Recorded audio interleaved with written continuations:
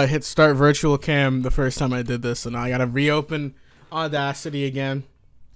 But um, anyways, some context. I got new headphones, right? Got the Steel Series Arctis, I think Arctis Ones, right?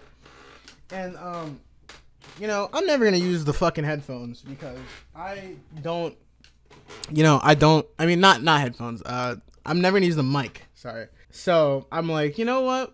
Why don't I try these out? Alright, three, two, oh wait, does it fuck it's not on there. I gotta go back. Give me a minute. Alright. High definition audio. Alright, let's try out the headphones. Alright, the not fuck. Let's let's try out the mic. So, hey guys,